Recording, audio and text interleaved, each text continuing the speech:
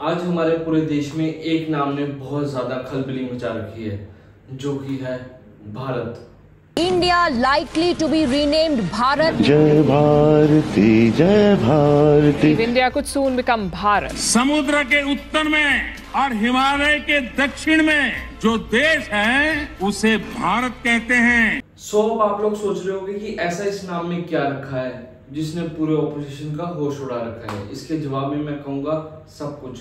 भारत नाम में सब कुछ रखा गया है।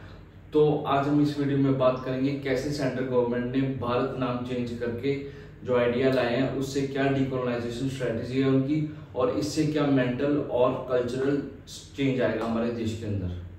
तो अब जो हाल ही में जी ट्वेंटी मीटिंग हुई है, उसके अंदर जो इनविटेशन गया है, वो प्रेसिडेंट ऑफ़ इंडिया के बजाय प्रेसिडेंट ऑफ़ भारत की तरफ़ से गया है। और चाहे वो ब्रिक्स की मीटिंग हो, चाहे वो ग्रीस की मीटिंग हो, वहाँ से जो इनविटेशन आया है, वहाँ से इनविटेशन आया for the prime minister of Bharat. तो जैसी ऐसी खबरें आती है, वहाँ से कुछ चेंजेस आते हैं, तब ऑपोजिशन का तो पता ही आपको क्या हाल हो जाता है। जो पार्टी अभी तक भारत जोड़ो यात्रा चला रही थी पूरे देश भर में जो कि ज़्यादा सक्सेसफुल नहीं रही होता आप सबको पता ही होगा तो उन लोगों को भी भारत नाम से इतनी मिर्चे लग गई मेरे को भी हो रहा देखिए ना name of the country from India to Bharat because the government is scared of the India Alliance. No one has the right to change name. Sharad Pawar says why center is getting restless on this. Modi ji India गठबंधन से डरे हुए हैं घबराहट है India से कुछ काँप से गए हैं कुछ डर से गए हैं कि उन्हें इंडिया शब्द से नफरत होती जा रही है Is the government hinting at renaming? Or is it just reviving a name already in the constitution? Or is it, as some suggest, a weapon of mass distraction ahead of the G20 summit?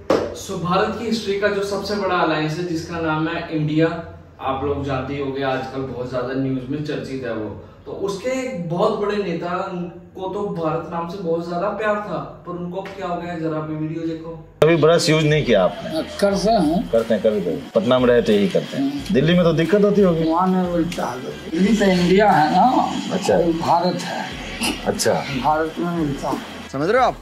समझ रहे हो? सो so, इस सब चीज़ पे सबसे बढ़िया मौके पे चौका मारा है हमारे पड़ोसी पाकिस्तान ने जिन्होंने बोला है कि अगर इंडिया अपना नाम भारत रख लेगी तो हम इंडिया पे अपना हक जमाएँगे।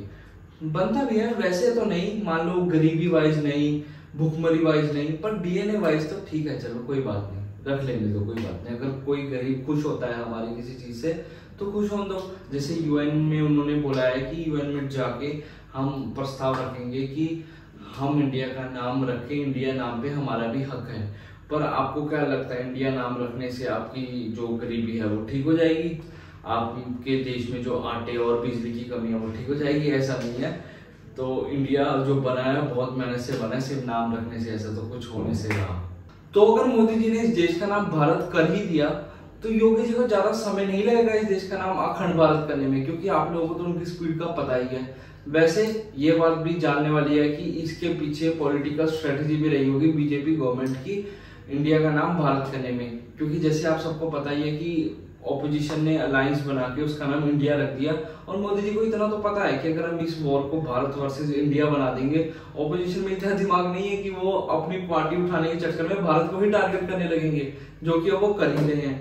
तो ये एक तरह से पॉलिटिकल स्ट्रेटेजी भी हो सकती है इसको हम बिल्कुल सिरे से नकार नहीं सकते। सो so, हमारे देश को बहुत ज़्यादा ज़रूरत है भारत नाम अपना रिक्लेम करने की क्योंकि कुछ टाइम से भारत का नाम है जो भारत वर्ड है ये बहुत डिफरेंट तरीके से यूज़ करा जा रहा है। जो मुस्लिम कम्युनिटी है, जो मेजरली मैं उनकी बात करूँगा, वो भारत नाम लेना नहीं चाहते, क्योंकि भारत माता की जय बोला जाता है हमारे देश के अंदर। वो सब ये बोलना नहीं पसंद करते।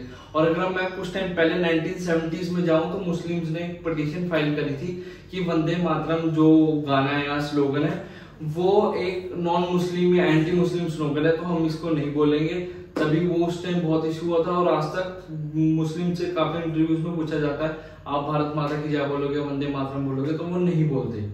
वो वो ज़्यादा से ज़्यादा बोलते थे जय हिंद। तो ये रीजन है कि हमें अपना नाम भारत रिक्लेम करने की बहुत ज़्यादा ज़रूरत है कि सब एकजुट होकर रहे। और अगर सब कुछ इसी हिसाब से चलता रहा, अगर हमने कुछ नहीं बदलाव करे तो ये लोग जो हमारे झंडे में भगवा रंग है, उसको भी देख के जलना शुरू कर देंगे। कुछ लोग तो अभी भी जल ही रहे हैं। और वैसे इनका तो ये हाल है कि अगर ये विटामिन सी की कमी से डॉक्टर के पास जाए और डॉक्टर को बोले, हमारे शरीर के अंदर विटामिन सी की कमी है। और डॉक्टर बोले, आप संतरा खाया करो डेली उससे आप ठीक हो जाओगे।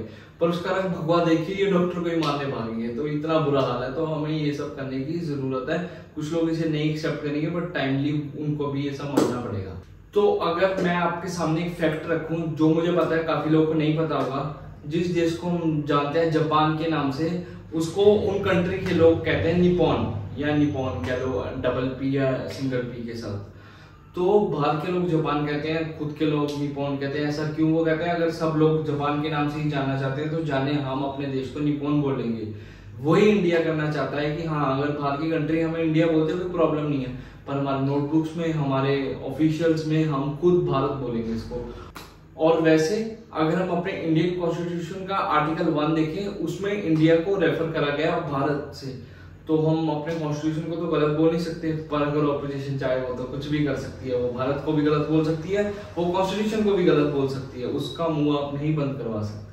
सो so, बात करते हैं कोलोनाइजेशन की सबसे बड़ी प्रॉब्लम के बारे में। कोलोनाइजेशन की सबसे बड़ी प्रॉब्लम ये है कि जो कोलोनाइजर होता है वो सबसे पहले जब भी, भी किसी कंट्री के ऊपर राज करता है एंटर करता है वो उनका सबसे पहले माइंडसेट होता है कि उस कंट्री का नाम चेंज करने का। जैसे हमारी कंट्री का पहले नाम था भारत उसके बाद अंग्रेज़ों के द्वारा दिया गया इंडिया उससे वो हमें इंफीरियोरिटी कॉम्प्लेक्स के अंदर डालना चाहते हैं। तुम साला गुलाम लोग हमारी जूती के नीचे ही रहेगी। सिर्फ़ भारत का नाम ही नहीं इंडिया रखा गया हमारे और भी बहुत सारे स्टेट्स के नाम चेंज करे गए थे अंग्रेज़ों के द्वारा। चेन्नई का नाम मद्रास मुंबई का नाम बॉम्बे और कानपुर का नाम कानपुर। क्या यार तुमसे कानपुर नहीं बोला जाता? तो ऐसे काफ़ी सारी सिटीज़ के नाम अंग्रेज़ों द्वारा चेंज करे गए थे कॉलोनाइजेशन के ड्यूरिंग और ये दोबारा ओरिजिनल नाम पे भी आ गए थे पर ये कौन लेके आया? आप लोगों को पता है? ये वही लोग लेके आए जो आज ऑपोजिशन में बैठ के सेंटर की गवर्नमेंट को टारगेट कर रहे हैं कि इंडिया का नाम भारत क्यों कर रहे हो। देख रहे हो इनकी जब बातें। तुम करे तो ठीक, हम करे तो गलत भाई साहब, ये वाली बात कर हैं लोग तो। चलो खैर, सो बात मेन मुद्दे पे, क्या डिकोलोनाइजेशन ठीक है? मैं अपने पर्सपेक्टिव से बात करूँगा डिकोलोनाइजेशन बहुत ज़रूरी है हमारे देश के लिए। फिजिकली आज़ाद होने से ज़्यादा ज़रूरी है हमारा मेंटली आज़ाद होना। मेंटली आज़ाद हम तब होंगे जब हम उनकी दी हुई बिल्डिंग्स उनकी दी हुई किताबें उनकी दी हुई हर चीज़ों से निकल के हम अपना हर चीज़ बनाना शुरू करेंगे। जैसे अभी सीबीएसई में काफ़ी चेंजेस आ रहे हैं। आप देखोगे पुरानी किताबों में, पुराने स्टडी कल्चर में अकबर, बाबर और हुमायूं, इन सब की चर्चा ज़्यादा और हमारे जो जुड़े हुए थे, जैसे शिव छत्रपति शिवाजी महाराज, इनके बारे में कम बताया गया था। ये सारी चीज़ें हमें अंग्रेज़ देखे गए थे।